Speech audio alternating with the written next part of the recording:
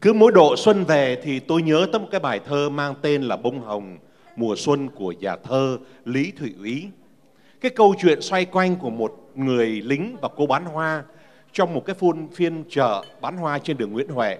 Khi người lính cầm một cái nhánh hoa lên và hỏi cô gái là, cảm ơn cô, giá bao nhiêu đấy nhỉ?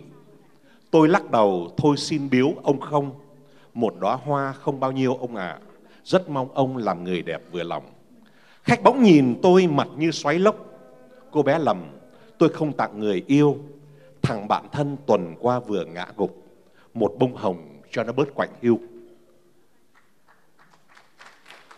Thưa quý vị, người ta thường bảo là cổ lai chinh chiến kỷ nhân hội mấy người lính một khi đã bước vào chốn binh đao thì có mấy ai để trở lại một cách toàn vẹn thì xin em đừng hỏi thời chinh chiến, có gì mà giữ được? Mang đời theo dòng nước lũ cuồng phong. Ai biết được ngày mai ra chiến trận, có còn về hay nằm chết bên đồng? Em đừng hỏi và cũng đừng mong đợi. Hãy quên đi một thuở tình nồng. Vì ai hay, anh sẽ trở về không? Qua nhạc phẩm, kỷ vật cho em của phạm duy với tiếng hát nữ ca sĩ dương hoàng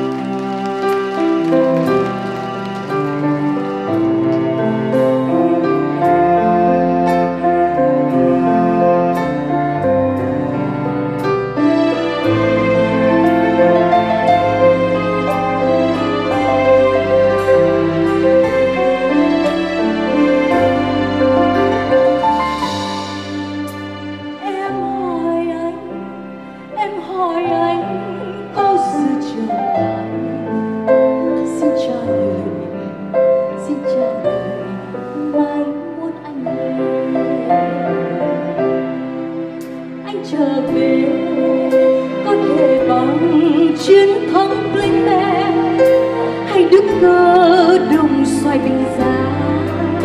Anh chưa về, anh chưa về, hàm kinh à anh chưa về, có khi là hòn gỗ cài hoa anh chưa về trên chiếc băng ca. Trên trực thăng sơn một tháng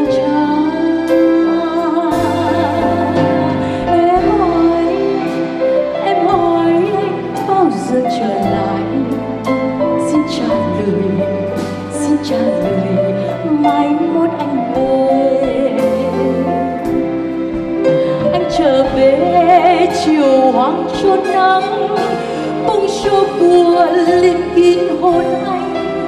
Anh trở về mưa to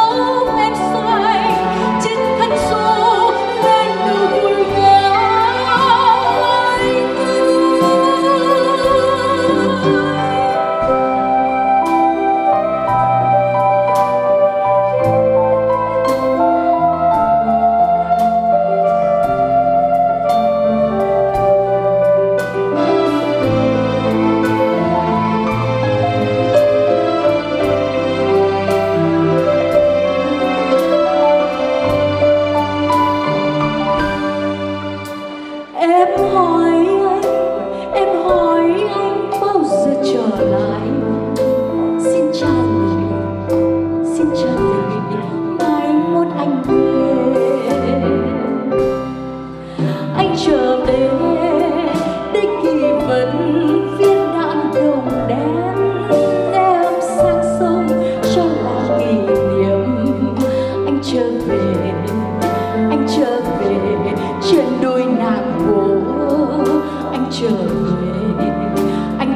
về bại tướng hụt chân. Em ngại ngùng dạo phố mùa xuân.